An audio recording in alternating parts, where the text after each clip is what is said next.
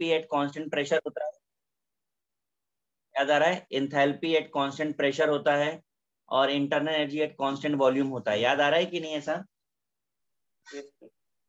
हाँ जी? सर हाँ इसी के बेसिस पे हमने इसे सीवी और सीपी नाम दिया हुआ है।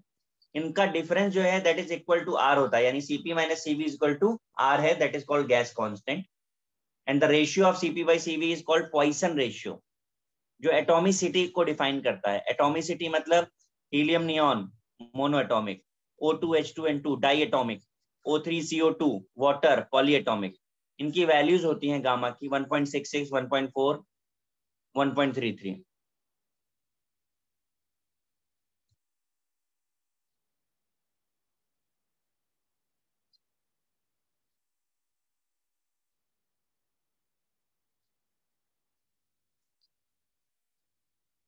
आवाज़ आ रही है आप लोगों को? हाँ सर। ठीक है। इसके बाद work done in thermodynamic process आएगा।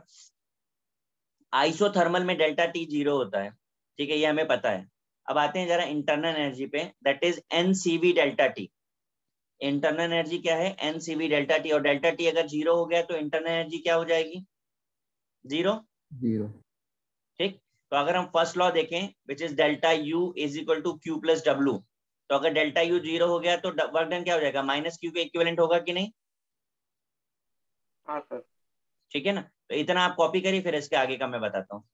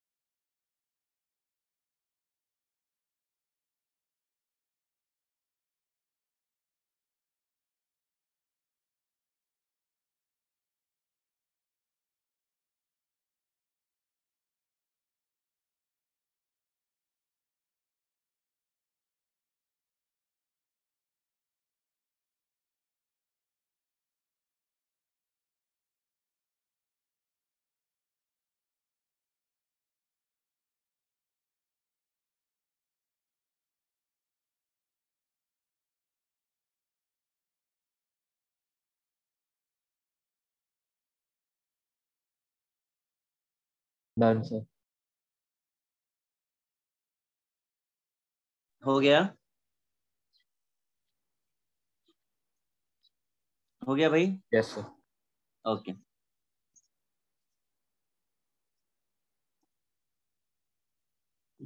देखिए अगर प्रोसेस रिवर्सिबल है आइसोथर्मल रिवर्सिबल तो work done is minus two point three zero three R T log V two by V one but अगर आपको वॉल्यूम के टर्म में नहीं प्रेशर के टर्म में चाहिए तो you can replace volume by pressure inversely proportional होता है। तो V two by V one की जगह पे क्या आ जाएगा? P one by P two आ जाएगा। One is for initial and two is for final but अगर इरिवर्सिबल वर्क डन है तो simply P into delta V होता है। P external into delta V but case अगर वैक्यूम का है तो एक्सटर्नल प्रेशर ज़ीरो होगा। That case work done is zero then the second part is adiabatic adiabatic आपको याद है डेल्टा क्यू ज़ीरो होता था। तो फ़र्स्ट लॉ में अगर हम अप्लाई करेंगे तो delta U equal to W यानी वर्क डन क्या होगा? इंटरनल एनर्जी के इक्वेलेंट होगा। गॉट इट क्यों भाई?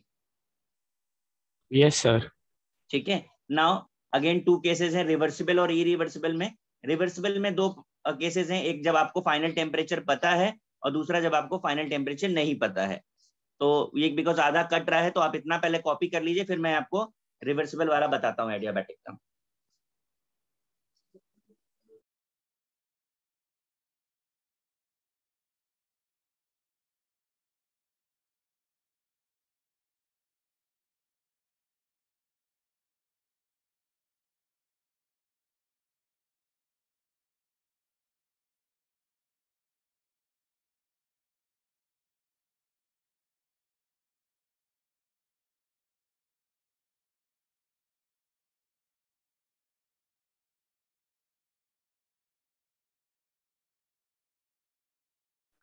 सर हाँ जी बोलिए। क्या बोल रहे हैं? सर ये रिवर्सिबल प्रोसेस का फॉर्मूला नहीं समझ आया आरटी लॉग कैसे हुआ? अच्छा एक्चुअली देखिए मैं आपको बता दूँ कि मैं आपको डेरिवेशन नहीं करा रहा हूँ इंटीग्रेटेड फॉर्म ऑफ़ डेरिवेशन है जिसकी हमें ज़रूरत नहीं है। तो मैंने डायरेक्ट फॉर्मूला आपको बताया है। ओके आफ्टर इंटीग्रेशन आता है वो। ओके सर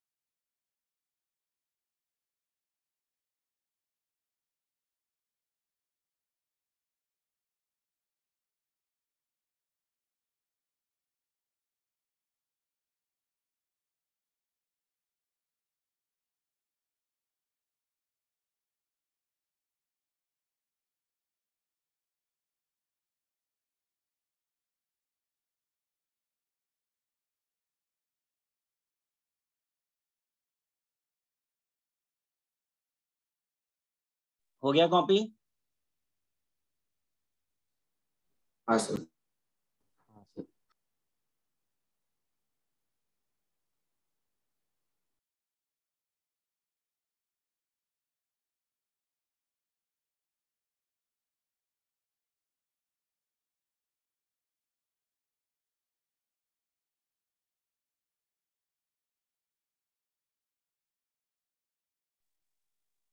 देखिए जरा भी जब भी फाइनल टेम्परेचर नोन है तो आपको याद है हमने हीट कैपेसिटी में रिलेशन पढ़ा था CP minus CV equal to R याद आ रहा है?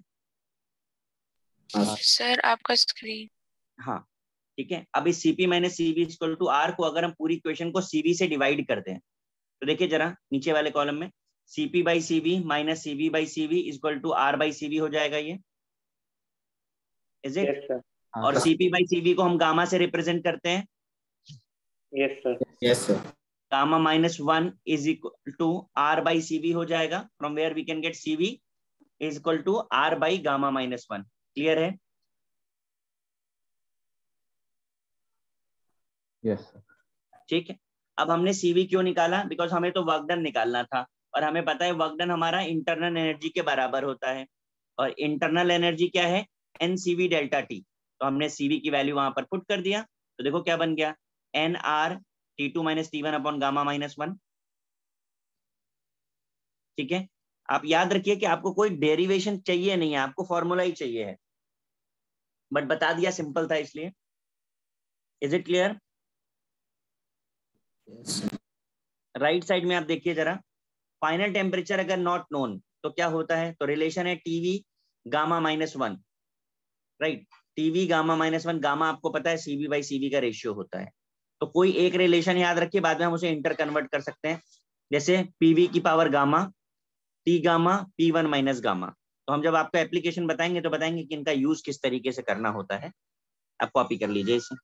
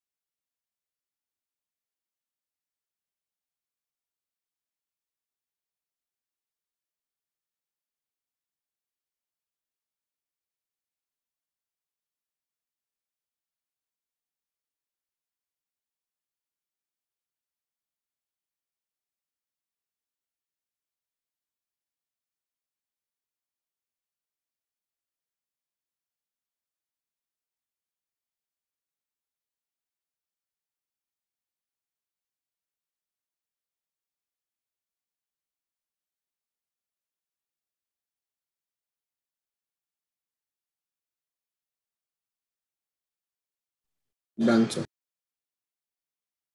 Sir, one minute. Sir, one minute.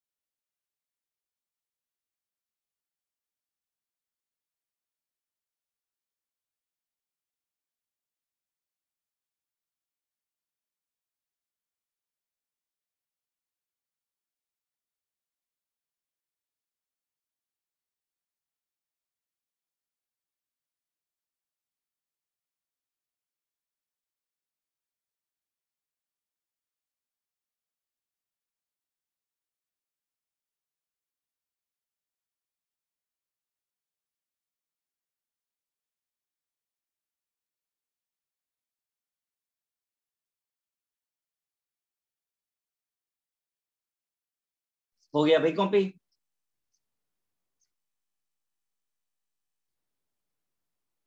हाँ जी? हाँ सर। ठीक है।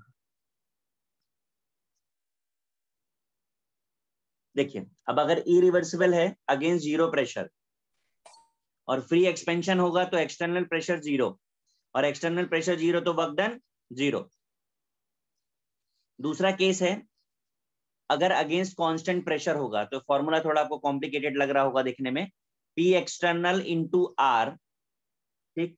P one T two minus P two T one upon P one P two ये आपका फॉर्मूला है, ठीक है? बहुत रेयर यूज़ होने वाली चीज़ें हैं सब, ठीक है? इसके बाद हमारा प्रोसेस स्पॉन्टेनियस और नॉन स्पॉन्टेनियस हो सकता है। स्पॉन्टेनियस प्रोसेस का मतलब जिसकी नेचुरल टेंडेंसी हो कंप्लीट होने की।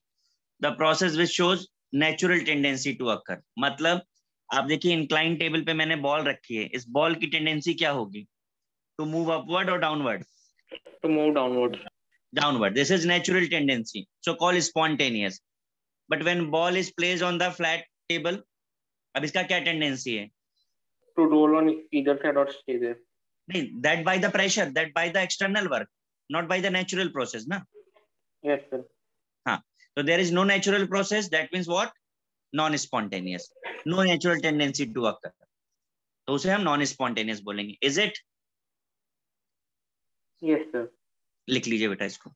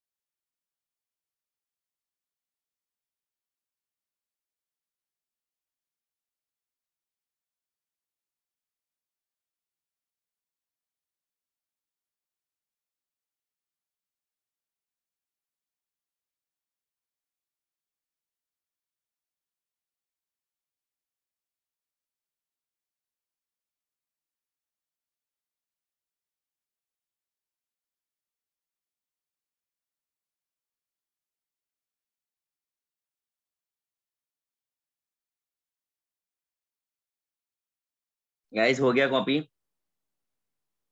हाँ यस सर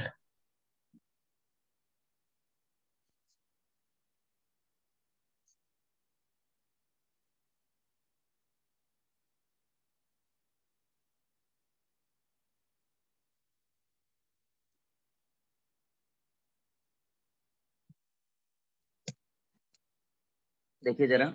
आपको ग्राफिकल रिप्रेजेंटेशन दिखाया है थर्मोडायनेमिक प्रोसेस का। जरा ध्यान से ग्राफ समझिएगा क्योंकि इस पर आगे हमको क्वेश्चंस करने हैं। प्रेशर वॉल्यूम ग्राफ है। पहले केस में आपको दिख रहा है प्रेशर कांस्टेंट है। तो प्रेशर कांस्टेंट के लिए क्या टर्म यूज़ करते हैं? आइसोबारिक आइसोबैरिक नीचे जो वॉल्यूम कांस्टेंट जहाँ पे दिख रहा है दैट इज़ आइसो कोरिक ये समझना हमेशा आसान होता है। बट ये जो दो लाइनें आपको स्लोप में दिख रही हैं इन्हें कैसे समझेंगे? ठीक है? तो देखिए दोनों लाइनें आपको दिख रही हैं। इन्हें समझने के लिए मैंने एक लाइन ड्रॉ करी है आप देख पा रहे हैं ब्लू कलर से। जिसका एंगल ज़्यादा होगा दैट इज़ एडियाबैटिक इसका एंगल ज़्यादा होगा दैट इज़ एडियाबैटिक और कम वाला इज़ आइसोथर्मल समझा कि नहीं? हाँ सर अब सेकंड वाले स्ट्रक्चर में आप आ जाइए ग्राफ में आ जाइए। इसमें बताइए कौन सा एडियाबैटिक और कौन सा आइसोथर्मल और फ़र्स्ट वाला एडियाबैटिक सर ऊपर वाला? ऊपर वाला? आइसो आइसोथर्मल हाँ और नीचे वाला? एडिया एडियाबैटिक एडियाबैटिक अच्छा एक और चीज़ इसमें पूछना है मुझे कि ये ग्राफ एक्सपेंशन का है या कंप्रेशन का है? सर एक्सपांशन कैसे पता चल रहा है? सर वॉल्यूम इंक्रीज हो रहा है। बेटा इंक्रीज हो रहा है कि डिक्रीज हो रहा है? ध्यान से देखो डायरेक्शन किधर है एरो की? हाँ हाँ सर डिक्रीज हो रहा है। हाँ तो क्या हो गया ये? Compression compression is it clear दूसरे वाले में केस में आ जाइए।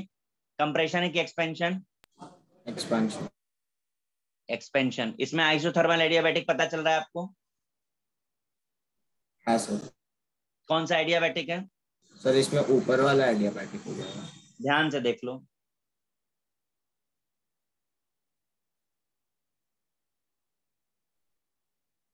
सर नीचे वाला एडियाबैटिक है हम्म।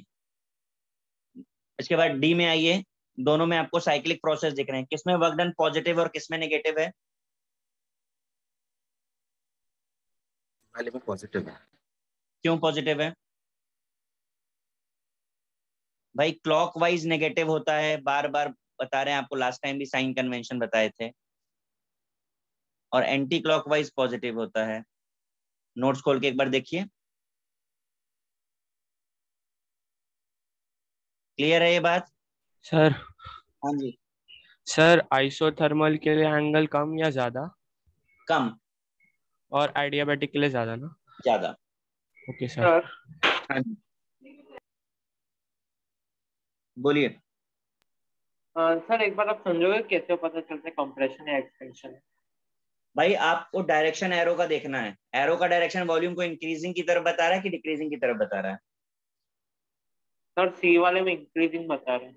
कैसे इंक्रीजिंग बता रहा है? डायरेक्शन अपवर्ड है कि डाउनवर्ड है? कहाँ पर है एरो ये बना एरो ये। ऊपर की तरफ़ जा रहा है कि नीचे की तरफ़ जा रहा है? लेफ़्ट टू राइट या right to left left to right to left right to left और वॉल्यूम इंक्रीज किधर होगा? लेफ़्ट टू राइट होगा? यस सर तो फिर डिक्रीज हुआ कि इंक्रीज हुआ? समझा सर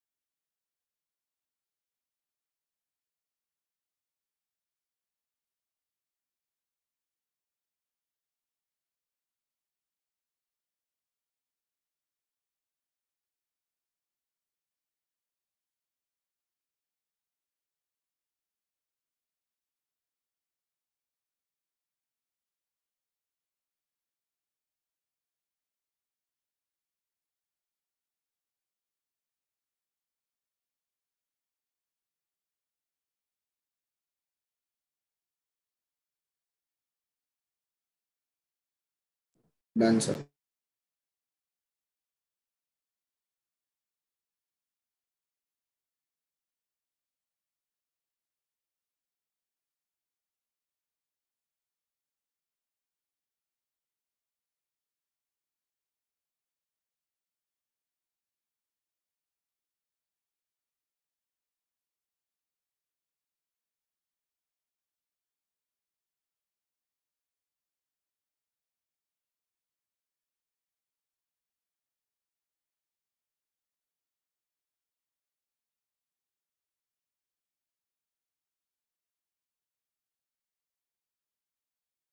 सबका हो गया कॉपी नहीं सर दो minute.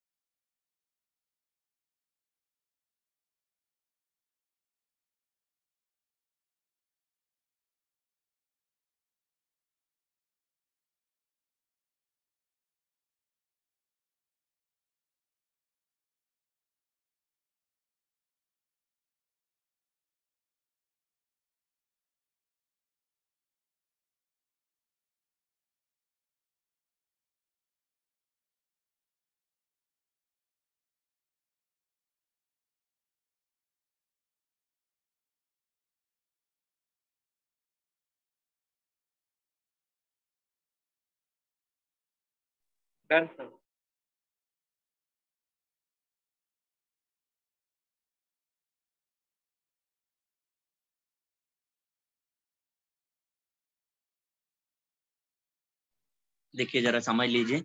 Joule Thomson effect phenomena of producing lowering of temperature when a gas is when a gas is made to expand adiabatically from region to higher pressure to lower pressure यानी हम उस condition की बात कर रहे हैं adiabatic conversion में जब हाई प्रेशर से लो प्रेशर गैस जाती है तो शोज़ कूलिंग इफ़ेक्ट इसके दो बड़े अच्छे एग्ज़ाम्पल है कॉमन लाइफ में। एक तो आपने अगर नोटिस किया हो कि साइकिल या गाड़ी का टायर जब पंचर होता है या जहाँ से हवा लीक कर रही है ठीक है आपने नोटिस किया है वहाँ से जो हवा निकलती है अगर उस पर आप हाथ लगाओ तो ठंडा देता है इफ़ेक्ट की गर्म इफ़ेक्ट आता है। देखा है किसी ने कि नहीं देखा है? हाँ सर कैसा लगता है? कूलिंग या heating cooling cooling cooling that is called Joule Thomson effect इसका दूसरा एप्लीकेशन जो है वो आपने देखा हो पुराने वाले जो रेफ्रिजरेटर एसीज हैं ठीक है? पुराने वाले रेफ्रिजरेटर में पीछे की तरफ़ इस तरीके के पाइप्स होते थे कॉइलिंग देखा है कि नहीं देखा है? एसी में भी होती है। हाँ सर तो ये पाइप इस तरीके से क्यों इतना राउंड राउंड होता है? तो रीजन वही है कि हम एडियाबैटिक प्रोसेस करते हैं यहाँ से एयर को एंटर कराते हैं और उसका एक्सपेंशन करते हैं जिसकी वजह से वो हमें कूलिंग इफ़ेक्ट दिखाई देता है। This effect initially notice by Joule Thomson called Joule Thomson effect बात समझ आ रही है? तो दो कॉमन एग्ज़ाम्पल मैंने आपको बताए। इसके बाद जूल थॉमसन कॉफिशियंट क्या होता है? तो पर डिग्री सेल्सियस टेम्परेचर पर यूनिट एटमोस्फेरिक प्रेशर में के रेशियो को हम जूल थॉमसन कॉफिशियंट बोलते हैं। Number of degree of temperature changes produce पर एटमोस्फेरिक ड्रॉप पर एटमोस्फेरिक ड्रॉप जो चेंज इन टेम्परेचर होता है that is called Joule Thomson coefficient ठीक है? इसे फॉर्मूले में दिखाया है आपको delta T by delta P mu का वैल्यू अगर पॉजिटिव होता है तो एक्सपेंशन पे कूलिंग इफ़ेक्ट मिलता है और म्यू का वैल्यू अगर निगेटिव होता है तो हीटिंग इफ़ेक्ट देता है। ये बात याद रखिएगा। थियोरिटिकली क्वेश्चंस होते हैं, कोई न्यूमेरिकल नहीं बनता है। फिर आता है इन्वर्जन टेम्परेचर तो इन्वर्जन टेम्परेचर वो कंडीशन है टेम्परेचर की जहाँ पे निगेटिव वैल्यू पॉजिटिव में कन्वर्ट हो जाए। इसे अगर हम कैलकुलेट करना चाहें तो T I is equal to होता है two A upon R B A और बी आपके वेंडर वॉल कॉन्स्टेंट है आर आपका गैस कॉन्स्टेंट है। ओके फिर नीचे मैंने स्पॉन्टेनियस और नॉन स्पॉन्टेनियस का केमिकल रिएक्शन का एक एग्ज़ाम्पल दिया है कि अगर आप वाटर में सॉल्ट डालेंगे तो वो खुद ब खुद सेलेबल हो जाएगा। इज़ इट क्यों भाई? यस सर हाँ सर यस सर उसका नेचुरल टेंडेंसी हुआ तो हम उसे क्या बोलेंगे? स्पॉन्टेनियस बोलेंगे। इसी तरह अगर हम हाइड्रोजन और ऑक्सीजन को मिक्स करें तो क्या रिएक्शन हो सकती है? सर नहीं हो सकती। तो रिएक्शन आपको कराना है तो आपको क्या है इलेक्ट्रिक स्पार्क देना पड़ेगा। एक्सटर्नल एनर्जी देनी पड़ेगी। तो ये प्रोसेस कैसा हो गया? नॉन स्पॉन्टेनियस हो गया। तो इस तरीके से हम केमिकली स्पॉन्टेनियस और नॉन स्पॉन्टेनियस को डिफाइन करते हैं। कॉपी करिए फिर एप्लीकेशन पर आते हैं।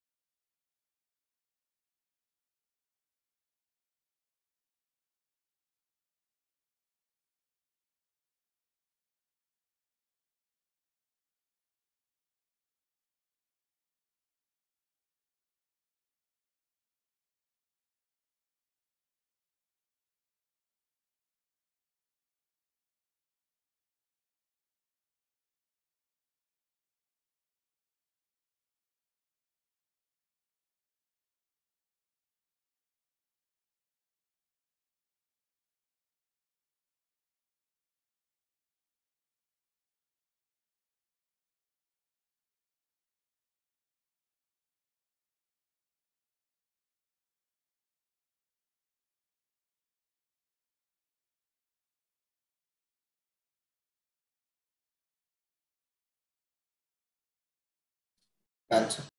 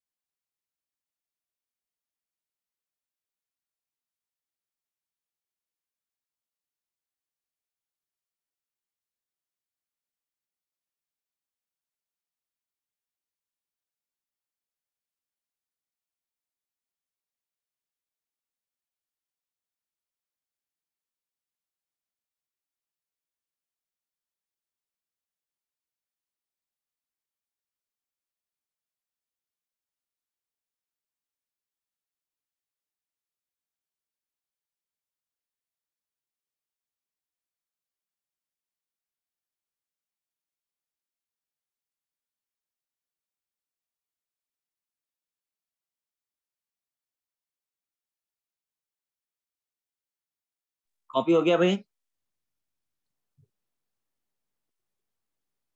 हाँ सर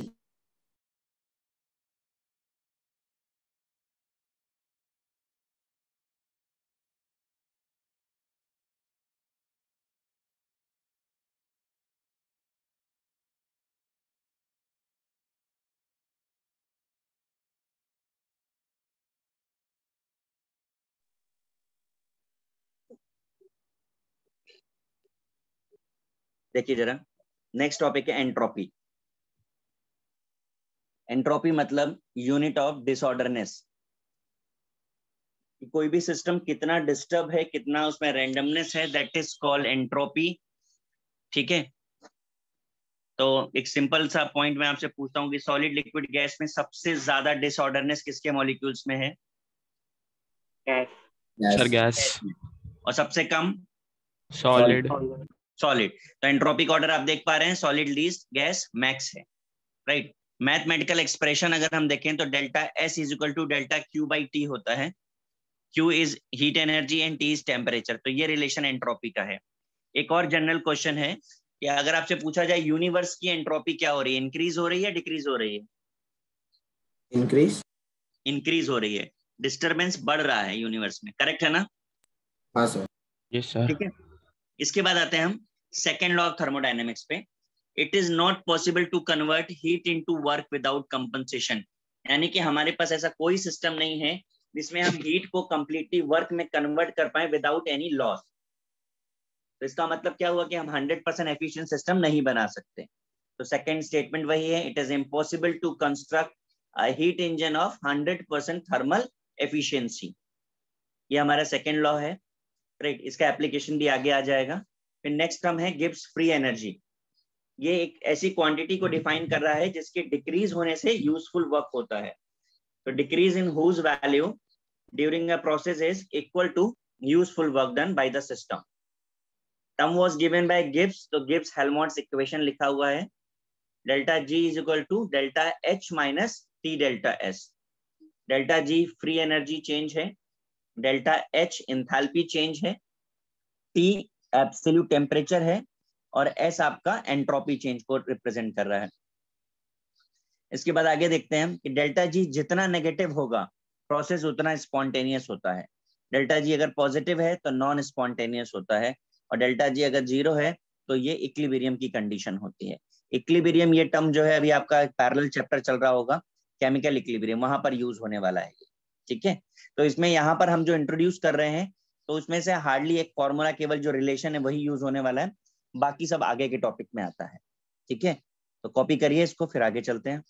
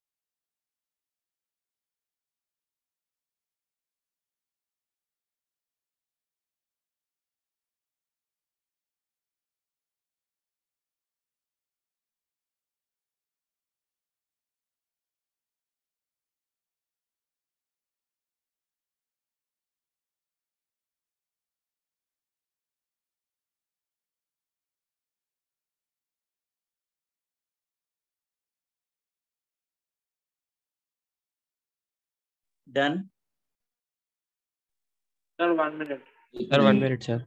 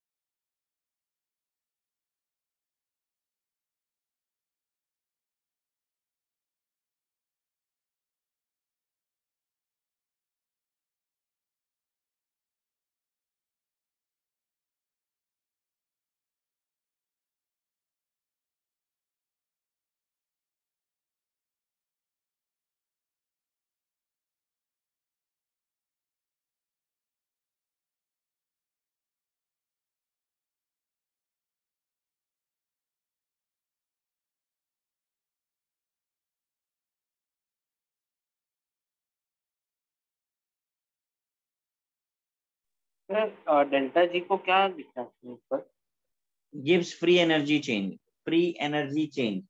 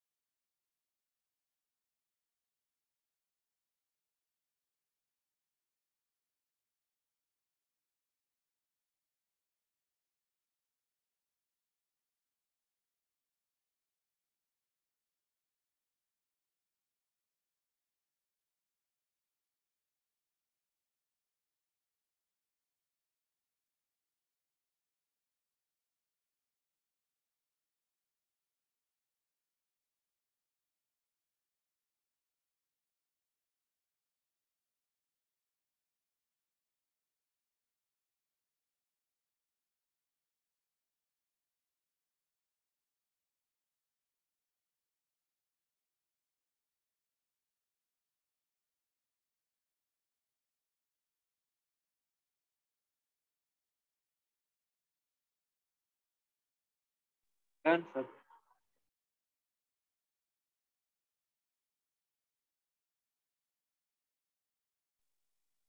हो गया भाई सबका? हाँ सर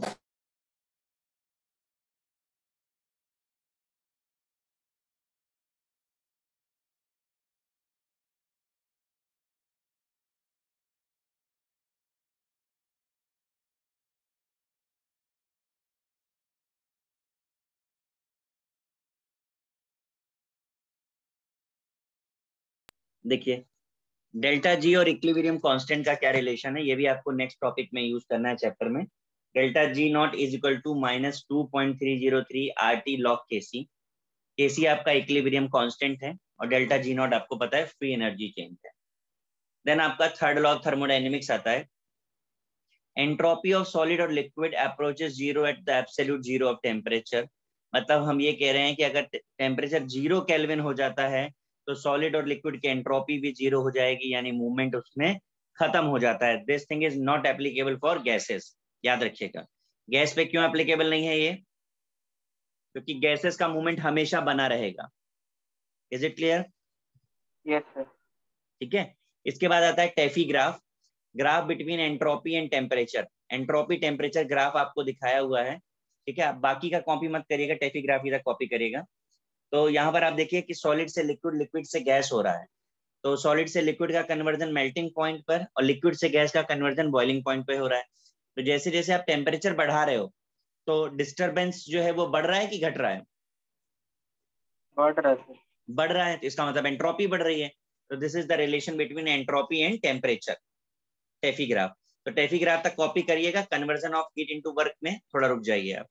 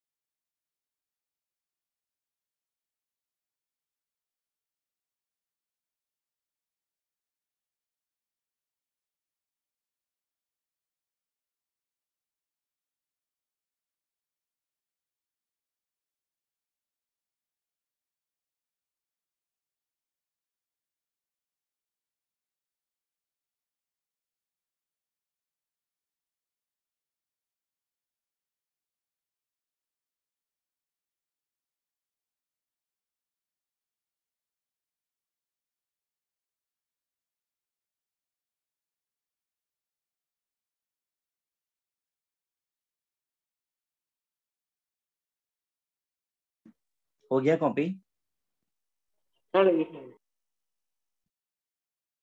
हाँ सर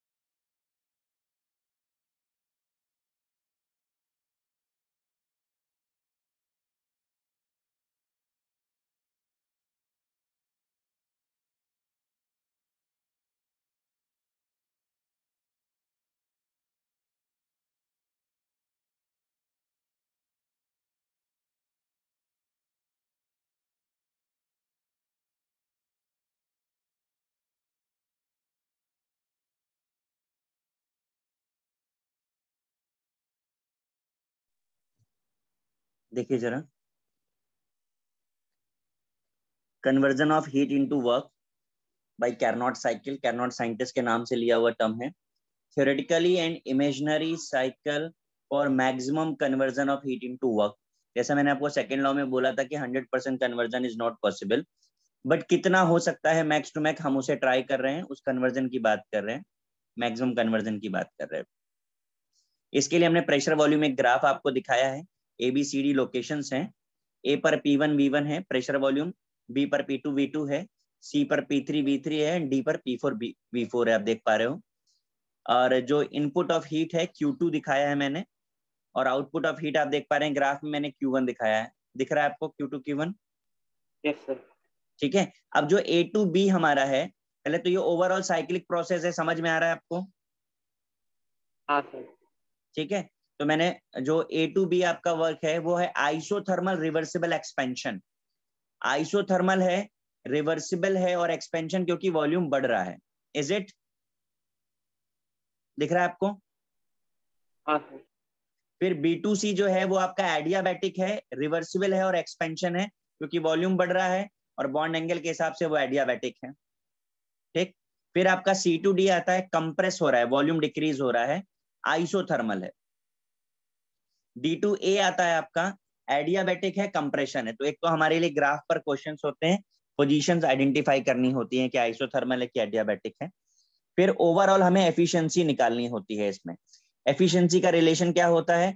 जितना आपने वर्क डन किया by input of heat Q2 आपका इनपुट है। तो W by Q2 which is equal to T2 minus T1 upon T2 and also equal to 1 minus Q2 by Q1 ये रिलेशन है आपका एफिशिएंसी फाइंड करने का। We need only this relation nothing else कुछ नहीं चाहिए। हमको ग्राफ स्टडी करने के लिए ये पूछा जाएगा या फिर हमसे एफिशिएंसी पूछी जाएगी। ठीक है? कर लीजिए कॉपी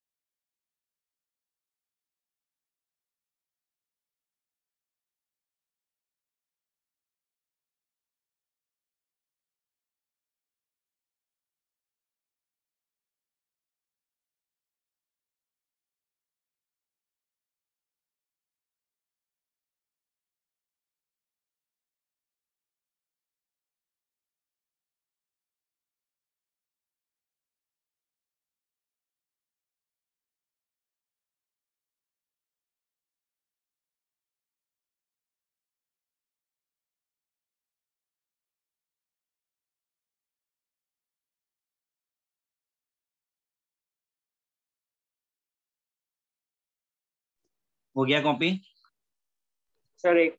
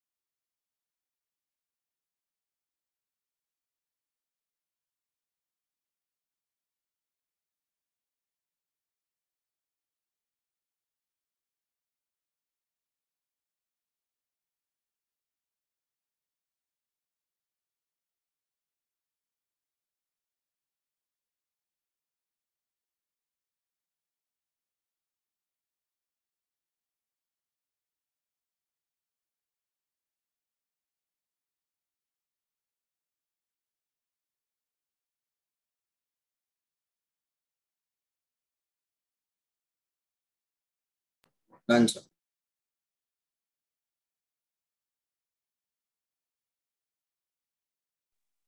ठीक है। देखिए, ये जो थर्मोडायनेमिक्स का थ्योरेटिकल पार्ट है वो हमने कर लिया।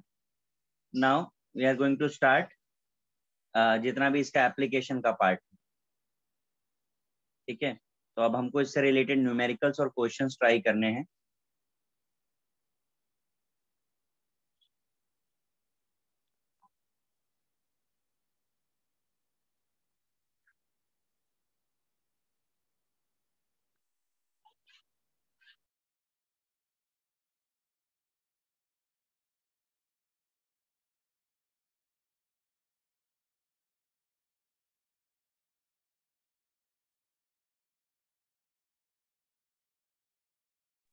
देखिए जरा, मैंने तीन क्वेश्चन लिखे हैं। पहला क्वेश्चन है gas expand by 0.5 litre against a constant pressure of one atmosphere calculate the work done in joule joule में आपको वर्क डन बताना है। एकदम स्टार्टिंग स्टार्टिंग में मैंने आपको ये सिखाया था। ठीक है?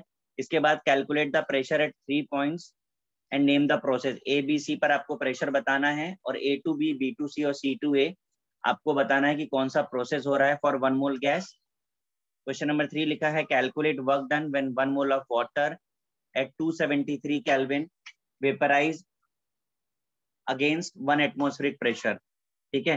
तो पहले आप क्वेश्चन कॉपी करिए, फिर स्टार्ट करेंगे। करिए कॉपी से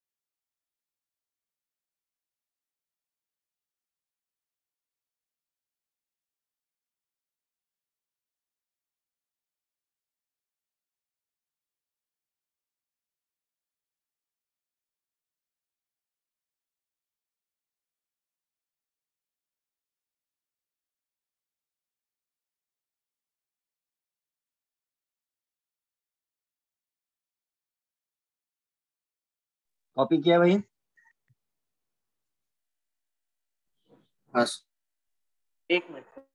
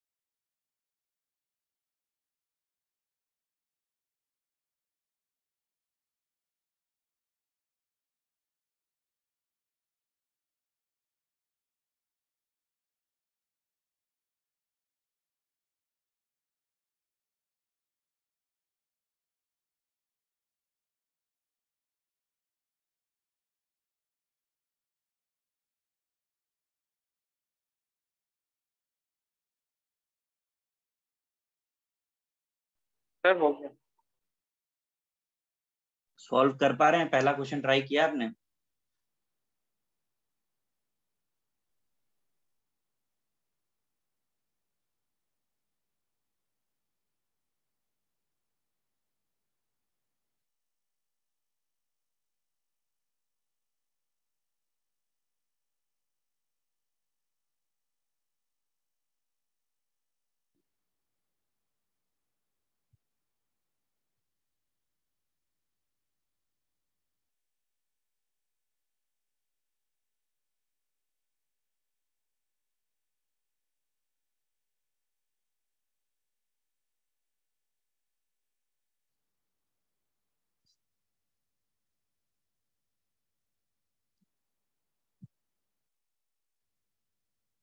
कुछ लग रहा है फ़र्स्ट वाला कर पाएँगे?